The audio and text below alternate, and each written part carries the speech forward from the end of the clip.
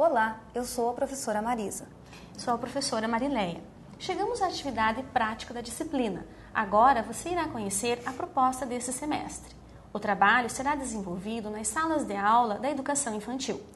A disciplina prevê 12 horas de atividades na escola. A principal será a observação da prática da sala de aula na educação infantil. Em cada unidade apresentada, há um roteiro a ser trabalhado na escola, a ser cumprido e registrado na plataforma. Você também deve estar atento na organização das fichas de apresentação, de frequência e ao registro das observações. Não esqueça de preencher adequadamente, recolher as assinaturas e o carimbo da escola. O seminário, ao final da disciplina, tem como objetivo discutir e compartilhar com os colegas temas problematizadores gerados nas observações e demais atividades propostas pela disciplina. Na plataforma consta o roteiro de como você deve preparar-se para o encontro.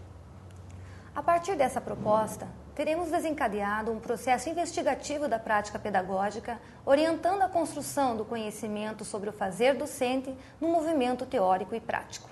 No próximo semestre, na sequência da disciplina Pesquisa da Prática Pedagógica 2, você aprofundará seus conhecimentos sobre a prática pedagógica no ensino fundamental das séries iniciais. Até breve. E um ótimo trabalho a todos.